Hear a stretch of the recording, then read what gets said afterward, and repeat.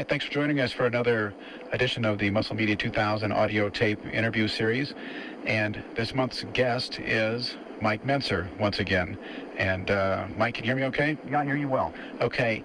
Uh, I have to tell you, you were not the planned guest uh, for this month's uh, interview, Uh-huh. but I got so much mail and I got so many uh, responses uh, from people who listened to our first conversation a couple months ago, Uh-huh. and they just they had so many questions and they were so excited about this uh, this new training concept that you know it's kind of a popular demand type of issue. So here we are again. Right. Why why do you think people got so excited from that first interview? Because I've never seen anything like it.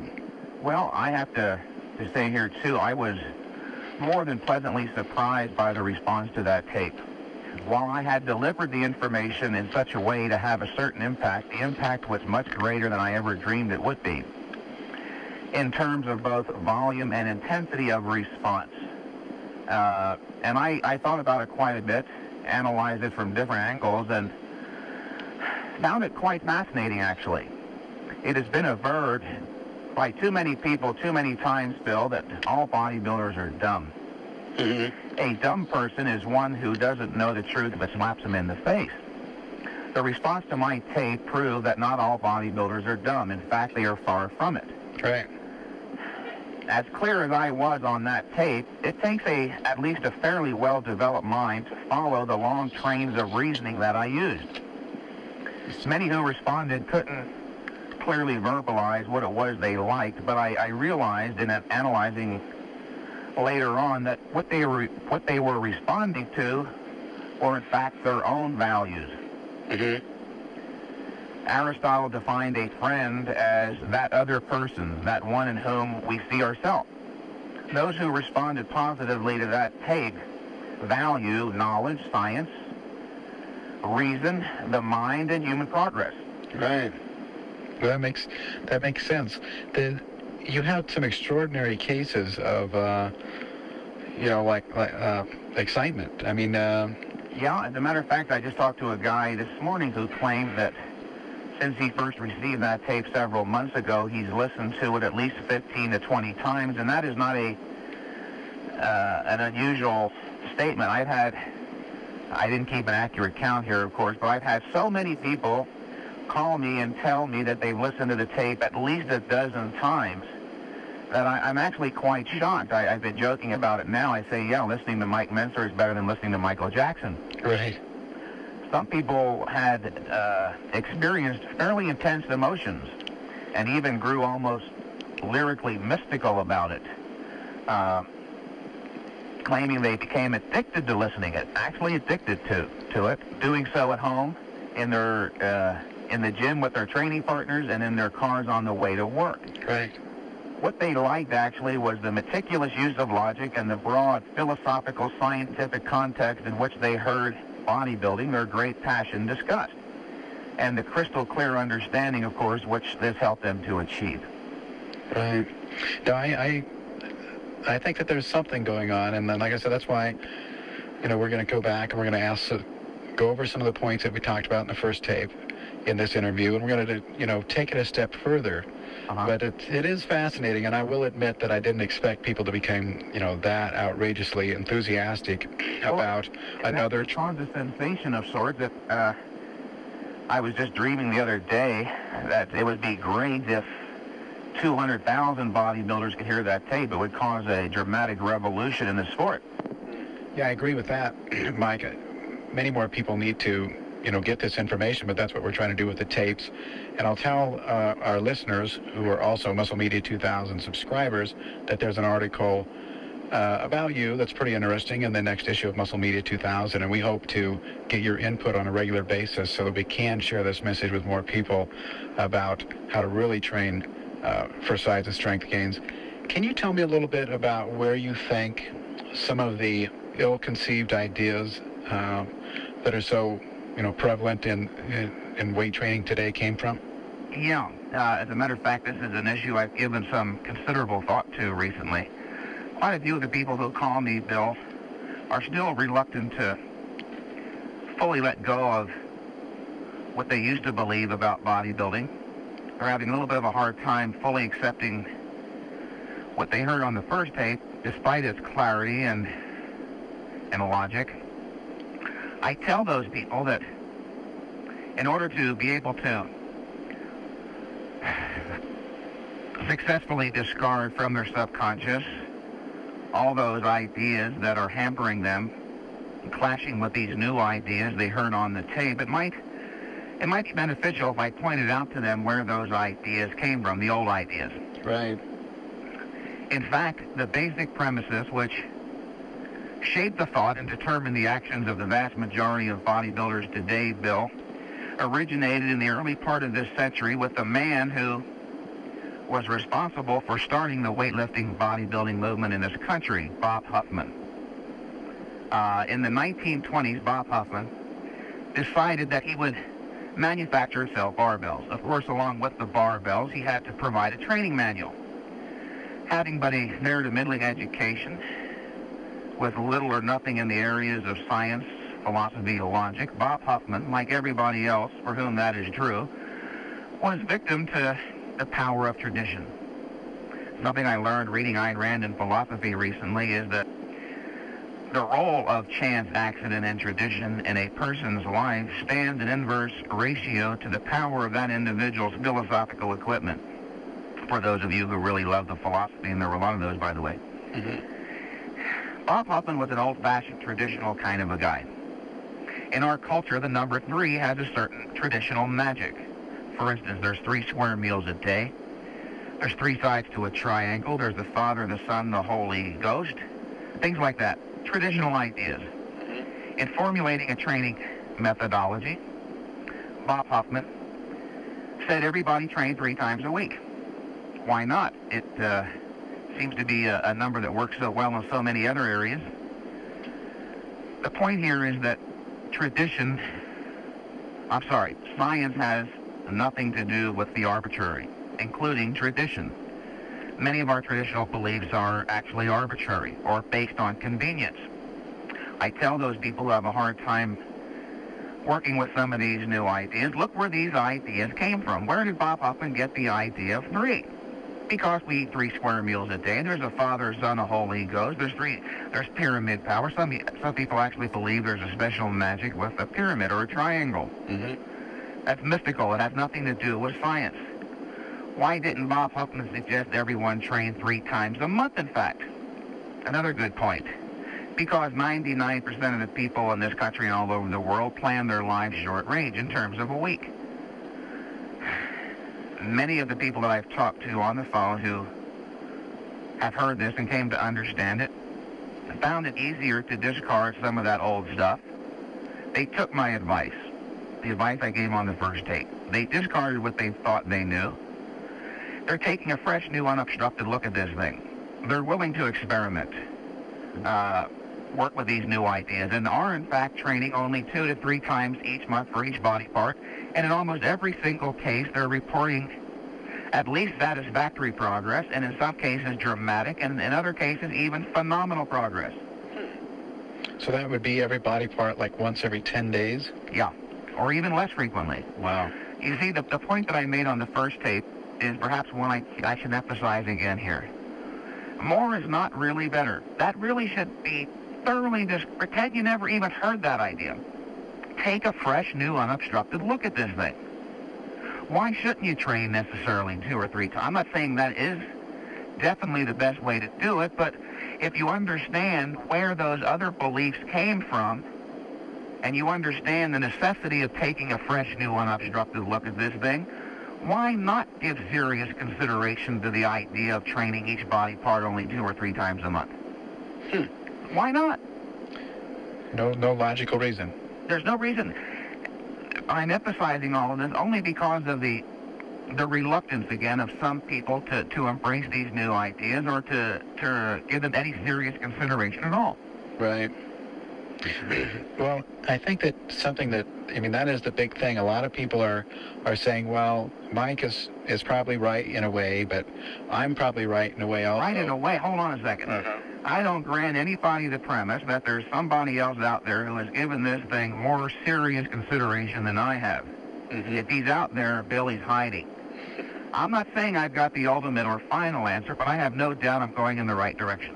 Mm-hmm. If you can come up with one single individual who, who can point out a contradiction in my logic, I'll give you a thousand dollars because I'd like to learn too. I'm not saying that I'm omniscient or infallible. Again, I don't necessarily have all the answers, but I'm sure about, I'm certain about what I'm certain about. Right. And not only is true in theory, this stuff works in practice. Yeah. A lot of people are still continuing to say it only works for Mike Mentzer and Casey Viator and perhaps now Dorian Yates. That is not true, but if it did, did work even just for one person, don't you think, dear listener, it would be at least worth trying? Mm-hmm. If, if for no other reason, then you could save all that time in the gym. Right. To go a little bit further, by the way, with this idea of traditional beliefs and where most bodybuilders, where most bodybuilders get their, their ideas, the ideas that shape their thinking and guide their actions in the gym.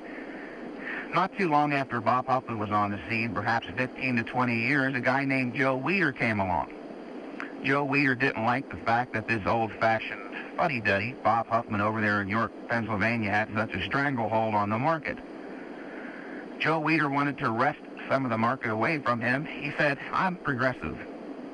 I'm a progressive individual. Don't train three times a week. More is better. Train six days a week. But he wasn't that progressive because he still suggested everybody take Sunday off for Sabbath. Right. Very scientific. so this is just fueling. I mean, is this?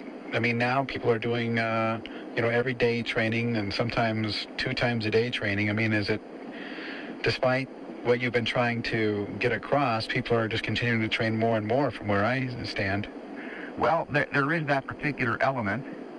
There are those bodybuilders who apparently never came to identify the, the role or nature or value of logic, reason, science in their lives, and I mean that literally. There are those individuals for whom you can paint a picture so clear a blind man or idiot could understand it, but it has no impact on their consciousness. Mm-hmm. Their actions are guided primarily by what they see others doing, and we talked about this on the first tape. Right. Most people are, in fact, intellectually dependent, and a lot of bodybuilders are. I've made this, this argument very clearly in all of my articles, all of my books and seminars all over the world, and apparently most people just, a lot of people, just don't understand the power, the crucial importance of a logical argument. Again, they do what they do based on what they see other people doing. Well, how can Mike Mentzer be right? Why should he be so certain when in fact everybody else seems to be doing it quite differently? Just the other day in Gold's Gym, a man said that to me. Why are you so darn certain? And I said, well, aren't you certain that two and two is four? Why are you pissed off that I'm certain about this? Why can't I be? Mm-hmm. If you're certain that two and two is four, I can be certain about this, and I am certain. If you would take the time and listen to the logic of my argument and find one contradiction, I'll throw the whole damn thing out. Mm-hmm. This stuff is literally true. If if NASA, the Space Administration, can send a man to the moon and bring him back successfully each time, then why can't we succeed with each one of our missions to the gym? Why can't we build muscles here on Earth? Right. There is a science of exercise, people. There really is. I, I said that on the last tape, and I've been telling a lot of people since, and I, I see now quite clearly, Bill, that a lot of this has to do with a failure of people to integrate their knowledge. We all know that NASA exists. We all know that there's a science of medicine and a, a science of astronomy, a science of physics and mathematics. In mathematics, 2 and 2 is 4. I don't care how big the arm of the guy is who asserts it's 5, it's still 4. Mm-hmm. There is a scientific approach to exercise, too, people. There really is. I know you've been reading those muscle magazines and becoming mesmerized by the pictures of all those great bodybuilders. And as a result, you're forgetting to use the knowledge you gained in grammar school, high school, college. Mm-hmm. There is a science of medicine. The science of exercise, like I said on the first tape, like the science of medicine, is based on principles of human physiology. They apply to everybody. What about the group of people, and this is what I've discovered, is that they're saying, well, I've been doing 15 sets, and Mike says to do one, So I think that I would be ahead if I cut down to five or six. I mean, is that is that any benefit to these people? Well, they're they're they're better off if for no other reason than they're not so severely overtrained and possibly damaging their body, and they're saving some time. But they're missing one crucial point here. We're not just looking to do less or to do what feels just about right. What we're looking for here, Bill and listener, is the precise amount of exercise required. As I said on the first tape, too, Mm-hmm. Science is an exact, an exacting discipline. A proper science of bodybuilding, therefore, should tell the individual exactly how many sets to do. The muscle magazines continue to advocate that everybody do 12 to 20. That's not very exact. Is it 12 or is it 20? It's not exact at all, and therefore it's not scientific. Science, as I said a moment ago, is an exact, an exacting discipline. Imagine we're down there with my favorite people, NASA, at Houston Headquarters Control, NASA, before, before a manned moon launch. And the director yells down to the end of the control module, Hey, Fred, why don't you try throwing a blue switch this time instead of a red one? Let's see what happens. You think you'd ever get to the moon? see my point when I say science is an exact discipline? Perhaps a better analogy here is this. Bill, if you were going to go into surgery tomorrow, you would very much want your anesthesiologist to give you the precise amount of anesthesia necessary. Any more than that, you, you would grow toxic and possibly die.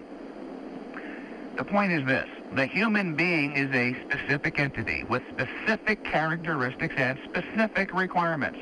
The key concept there is specific. I call my approach to bodybuilding, Bill, a rational approach. The basis of a rational approach to bodybuilding, or any other arena of human endeavor actually, is the recognition that only the specific appropriate knowledge can lead one to engage in the purposeful action required to successfully achieve a goal. I came to understand recently, during a period of more serious thought on this, that in fact the concept of specificity is the most important concept in science. The concept of specificity shapes and underlies the phenomena of rationality itself. Why is life today, Bill, and the 1990s so much better in so many ways than it was 50, 100, or 500 years ago? Because of science. Mm-hmm. Because of science. The purpose of science is to identify the facts of reality. From those facts derive a theory whose principles serve as a guideline for successful action. This is what I'm trying to get across to people. Something which I consider crucially important and that will help elevate the entire sport or industry of bodybuilding in the public's eye and in the eyes of the scientific medical community. The way it's being practiced now, the way it's being written about now, the way it's being thought about now, is so gall darn stupid, Bill. I, I can't believe that these people are so impervious to reason. Mm-hmm. Most people are living not in a dark age, but in a black hole. Remember the Dark Ages of 500 years ago? Mm-hmm. The Dark Ages was a period when mankind's progress broke down. They, people turned away from the teachings of Aristotle. That is, they rejected logic, reason, knowledge, progress, and even freedom. When you reject reason, science, and progress, you also lose your freedom as an end result. After the Dark Ages came a Renaissance. The Renaissance was, the term Renaissance literally means rebirth, the rebirth of reason. The Renaissance was that period during which men returned to the teachings of Aristotle, the man who defined the laws of logic, identified the principles of thought. He was the man who discovered the scientific method. Up until recently, bodybuilding was caught up in the dark ages of its own. It wasn't until 19, about 1969, 1970, with, with the emergence of Arthur Jones on the scene that we exited the dark age and emerged into a renaissance of our own. Arthur Jones was, was and is a man of reason. He understood the requirements of logic, the requirements of developing a theory. He did develop a theory which was validated by myself and many people. We couldn't find any contradictions in the logic. We also used it. We proved empirically that it does work. But as happened after Aristotle, the first Aristotle, his, his works were lost. And people did go into a dark age. Now, it's possible that the entire world of bodybuilding will fail to see the enormous importance of what Arthur Jones especially has contributed and what I've what I'm attempting to perpetuate and expand upon by providing a broader philosophic scientific context within which to, to view bodybuilding. Make sense? Yeah, it does. I mean, you, you talk about... I, I don't want to sound too professorial here, but this is obviously a subject that people value quite passionately. Mm-hmm. If they want to be assured of succeeding, then they have to acquire the specific appropriate knowledge necessary. Right. Now you talk about the, uh, you know, I, I, know that you you've studied all the way, uh, you know, bodybuilding, you know, way back, and I think you said one time it, you know, really originated in ancient Greece. I mean, what is your? Uh, well, that, that's something else a lot of bodybuilders don't know, and it's a very interesting point. The activity, the phenomena of bodybuilding itself, arose 2,300 years ago in the age of classical Greek. The concept of philosophy itself arose at the same time with Plato. Uh-huh. Plato was the man who identified the concept of philosophy itself and pointed out that there are crucial issues which pertain to philosophy, issues like what is reality, what is knowledge, how does man gain it and validate it. In the years since the classical Greeks, philosophy has undergone a, a dramatic deterioration. Uh, there was a little bright spark there during the Renaissance and the Enlightenment, but now here in the ni- 1990s, the late 20th century, we're back into a, not just a dark age, but a black hole. People, once again, are failing to understand the values of knowledge, reason, logic, science, human progress, and freedom. It's only within a philosophical context that people can gain the knowledge required to achieve their goals. Remember, the basis of a rational approach to bodybuilding is the recognition that only the specific appropriate knowledge can lead one to engage in the purposeful action required to successfully achieve a goal. It would help a whole lot if an individual took some time to study what knowledge itself is. How can you know that the ideas guiding you are valid if you don't know how to distinguish truth from falsehood? Again, this is I'm pointing all this out because I see this as my role in bodybuilding. I see myself as the voice of reason bringing a, a wide-scale philosophic, scientific context to all this. And if there are those of you who think I'm sounding too professorial or this is too intellectual, then you uh, you have my best wishes because you're lost. This is what human life is about, people, knowledge. Mm-hmm. And what would you recommend for people who, I mean, I, I've gotten some letters from people who want to, you know, get more into, you know, the, uh, the things that, that you are studying. I mean, the, the philosophy and stuff. You you study Rand? Right. And Ayn Rand is the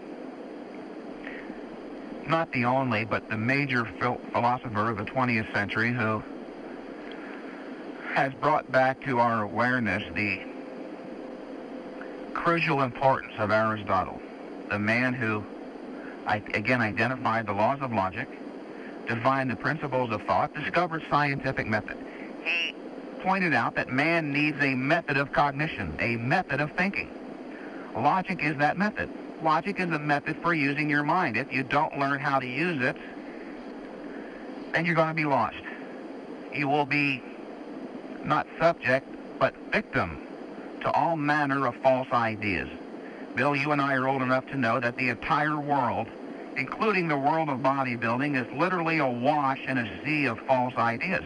Mm-hmm. Mm-hmm. Now, what about people who want to get more information on Rand? I mean, is that uh, books?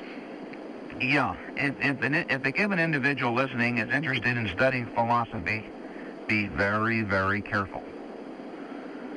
Ideas are crucially important. I, Ayn Rand pointed out that philosophy is the wholesaler of man's affair. Everything we're doing even now, Bill, is philosophy. Mm-hmm. A lot of it, a lot of it, a lot of it is explicit. It's clearly verbalized. Involved in what we're doing are a lot of implicit ideas. One of the most interesting one, which is uh, comes from romantic philosophy.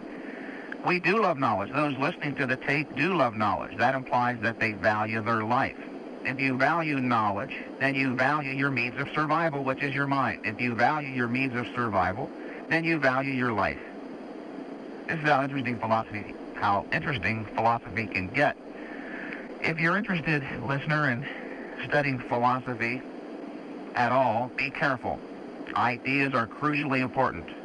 The wrong idea can lead you down the wrong path, as ha- as happened in uh, of course, pre-World War II Germany. There was a reason why the Nazis took over.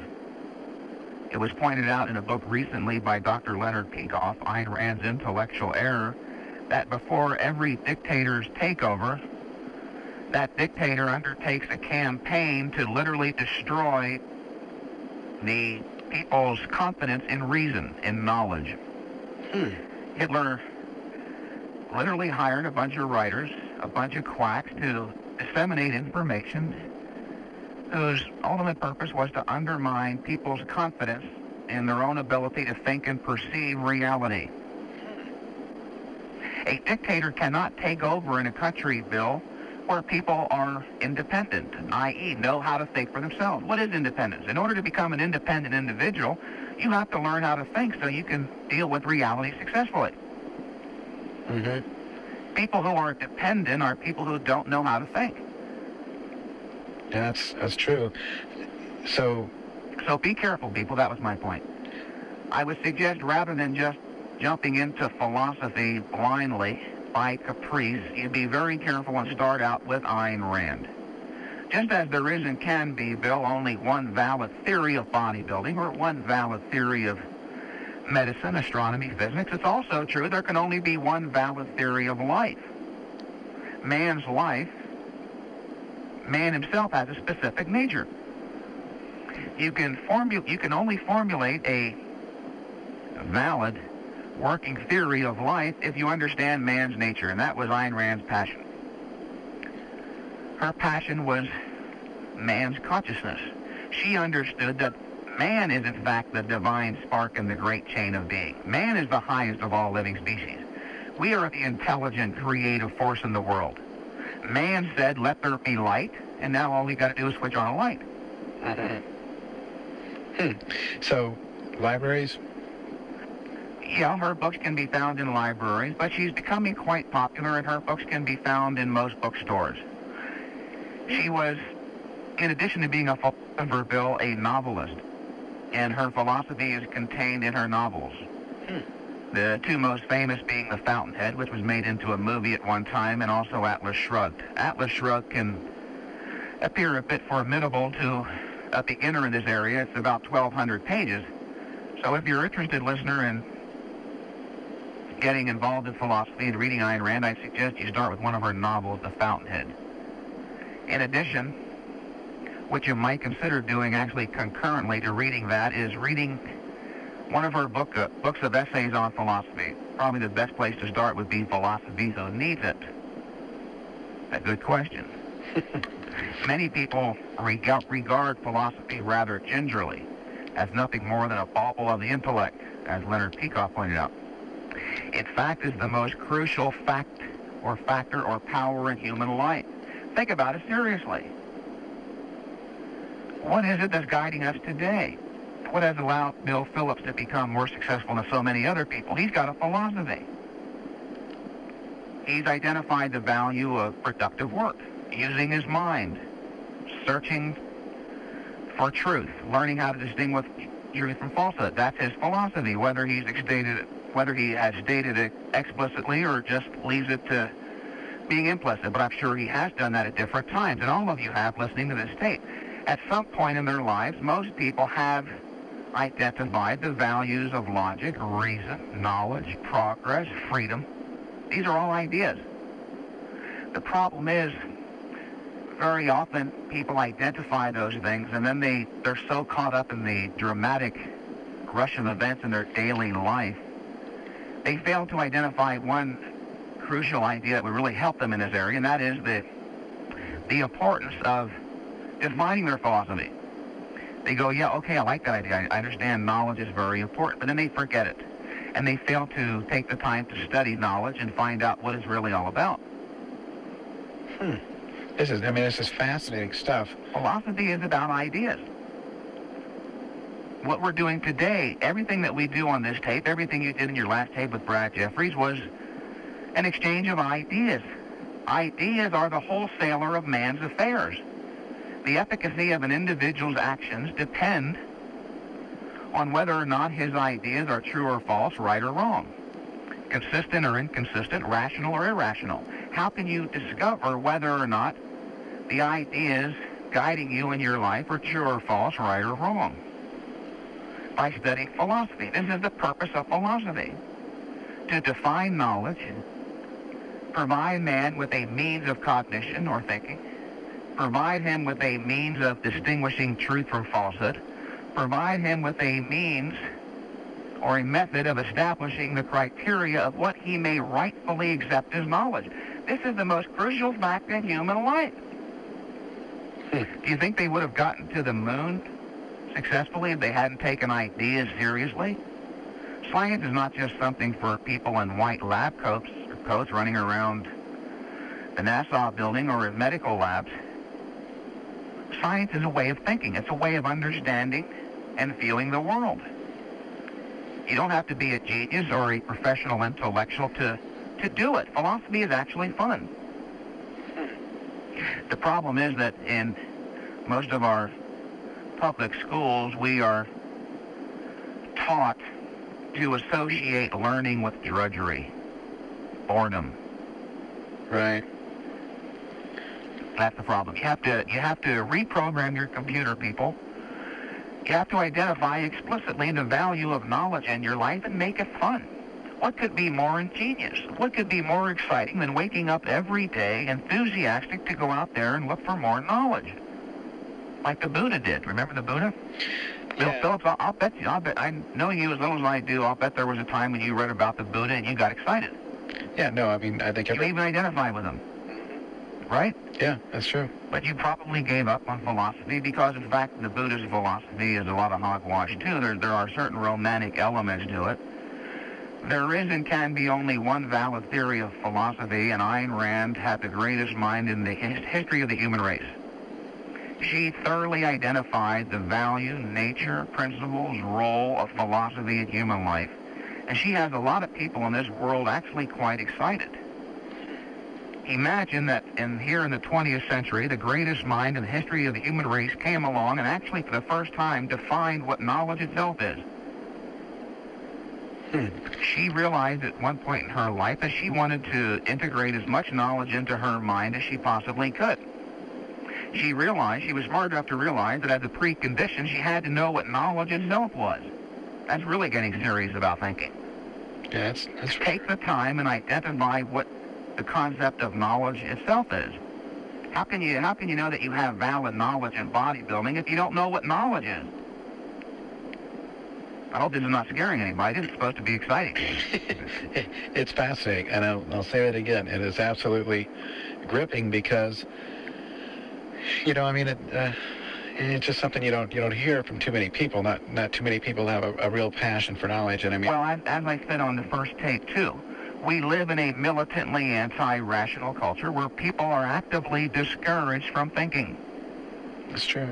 Why? Because many of our schools for the last 30 or 40 years have been using the teaching, teaching methods of John Dewey, the progressive education method. John Dewey was militantly anti-cognitive, anti-conceptual. He believed that teaching children to think was literally an unnatural burden. He believed that children should be brought to school to give free expression to their natural impulses, which is a bunch of garbage. Why should you let children who are already wild be left unrestrained and give vent to their so-called natural impulses. Beyond that, he said the purpose of education was to teach children to conform to society. And as Ayn Rand pointed out, what does that mean? To cruelty, injustice, murder, mockery, snobs, pretentiousness. That's, that's what we see about us today in society. And even back then when John Dewey was advocating his theory, I came to find out recently, quite interestingly, that the man who funded the progressive education movement in this country, the man who gave a tremendous impetus, impetus to John Dewey's educational movement was David Rockefeller, whose purpose is to start a one-world government. Now remember, John Dewey's philosophy is militantly anti-cognitive, anti-conceptual. He literally didn't want to teach children to think. He wanted to stultify their minds, hamper, cripple them as much as he possibly fucking could so that possibly David Rockefeller could take over the world. Remember, Hitler, Hitler wasn't the first one to use this, but Hitler raised it to an art form. Hitler literally hired writers to, to print and distribute pamphlets and books undermining the populace's confidence in reason, making them dependents, like children, be led by a strong paternalistic government. That's what a dictatorship is, people. This stuff is starting to scare me a little bit because I see it's so darn clear. Mm-hmm. I suspect Arthur Jones did too. He, he told me a while back that when he was in his 30s and 40s, he started enlightening himself and started to see what was going on in this world politically. We are literally, this whole world is going in the direction of statist tyranny. How is it to be achieved? Through philosophy. By undermining people's confidence in the power of their own minds. Don't think for yourself. Be led by a strong paternalistic government. Right. So that, of course, philosophy, as important as it is in helping an individual decide on what kind of a bodybuilding routine to perform, it has social implications. Yeah, that, that's for sure. Most people, how are you going to know what's going on in the world if you don't know what's going on in the bodybuilding world? And most bodybuilders don't know a damn thing about bodybuilding. This scares me a little bit. Most bodybuilders passion, passionately value this thing. Bill, you know that. They're, they're so darn fanatic, it's almost funny. In one sense, it's, it's actually kind of endearing because they're so romantic about it. They so much value their lives. They want to achieve goals. Right. But they don't know how to think about it. If they haven't learned how to think about bodybuilding itself, do you think they've taken the time to look out into the world around them and learn to identify what's going on out there either? Yeah. No. This is what happened to, to the people in pre-World War II Germany. That's how they got led into fascism and Nazism. They couldn't identify what was going on before it was too late. You see, you see this. Oh, yeah. No, I, I see what you're talking about. When people don't know how to think, when they don't take the time to sit down, look out into the world and identify and evaluate what's going on, which is something you can't do, by the way, if you don't have a sufficiently developed conceptual faculty. You have to have the concepts, the ideas, the words necessary to identify and evaluate the facts. Then what happens? Mm-hmm. You're opening up the path to any dictator who wants to come in and tell you what to do. And that's what's happening. We are progressively losing our freedoms, without a doubt. Now they're they're going after the supplement industry. Right. As I'm not a, I'm not a fan of, of nutritional supplements, but I would fight to defend their right to, to sell to sell that stuff. Right. I think people should be informed about which ones to take and not to take if they need them at all. Mm-hmm. Uh, but the government has no right to legislate our lives. Who, who is the government anyway? Their track record ain't so great. They ain't the greatest thinkers in the world. Right. If you find this boring, dear listener, then you have my best wishes again because we're talking about life here as well. Yeah, no, I, I, I agree with you 100%. But, uh, And all of all of this, even if you forget about it 10 minutes from now, it'll come up in your minds again. Learning to look out and understand life in general makes achieving your bodybuilding goals a lot more exciting too. If all you do is achieve bodybuilding goals or come to understand bodybuilding, then you're in kind of a vacuum. There's a big world out there and you can't ignore it. You will continually feel the pressure of that world on you if you don't take the time to sit down, learn how to think about it, identify it, and evaluate it. There will always be that pressure. You will know that you're failing somewhere in your life. You'll feel you'll feel an odd sense of guilt. Mm-hmm. This stuff is fun. Learn to look out in the world. By learning how to identify what you see, it becomes much less frightening. Remember when you were a kid, Bill, you screamed when it lightning, when there was lightning? Oh, yeah. And thunder? Now, what caused you not to be afraid of it? You gained the knowledge that it was a natural phenomenon. It wasn't something mysterious or magical or mystical that you should be frightened of. As soon as your parents or your teachers told you what it was, as soon as you gained a scientific understanding of that aspect of the universe, it failed to frighten you. Right. This is why knowledge is so important. Hmm. But you, you mentioned Arthur Jones. Um, was he a, in, into philosophy or, or just uh, was he just a, a thinker by by nature? No. Arthur Jones told my brother a long time ago, and I'll quote him here exactly. He said when he was in his 30s, he was tremendously emotionally fucked up. Mm-hmm. Something happened in his life in his late 30s, early 40s. I have every reason to believe that he literally discovered Ayn Rand and or Aristotle. I'm sure, I have no doubt it had to be that. Mm-hmm. He understood that there was something going on inside him that he couldn't understand, he didn't like. He said he was emotional. I don't like to use the term fucked up too often, but he did say that. He said, I was emotionally fucked up. He sought to understand the reasons for it. He wanted to learn how to think about what was going on inside of him. And this is the, the inner state of most people today. A lot of you who are listening are becoming quite intensely interested now because you're, you're identifying with some of this stuff. I've had my problems too. The, on, the only way you can come to understand your problems, your emotions, your thinking, is to learn how to think. This requires a certain type of discipline which only philosophy can teach you. And it's not even a required course in high school or college. No, it's um, again, it's regarded rather gingerly by most people in the teaching profession. When you bring the subject of, up to most people, they they giggle or titter and think that perhaps you have an emotional problem. Right. Mike, No, and uh, Mike, you left off with, you know, explaining the importance of, of thinking and being independent and developing yourself in that way, intellectually, and how that can reflect on, you know, your success in bodybuilding and, and all things in life, I think. One of the questions that I, I like to, to bat around uh, when I uh, get a chance is, why do you think it is and, and, I don't know if you have any thought on this or, or whatever, but why do, you, why do you think it is that people want to build their bodies to begin with? I mean, to be, I mean, especially, and I can say those guys, but you were one of those guys, Mike. I mean, you were freaking huge. Yeah. And strong. Well, why, why shouldn't they want to build their bodies? When uh, Sir Edmund Hillary was asked why he climbed Mount Everest, he said because it was there. Yeah. Well, what's the, what's most immediate to people? Their bodies. There's nothing wrong in taking care of your body or even wanting to build it as long as it doesn't become a preoccupation and take your focus away from the development of the mind. It was the ancient Greeks. It was in the age of classical Greece, 23 centuries ago, that the dictum, a healthy mind and a healthy body building arose. Hmm. And so... There's nothing wrong with building the body as long as you don't miss that most crucial factor or element, the mind.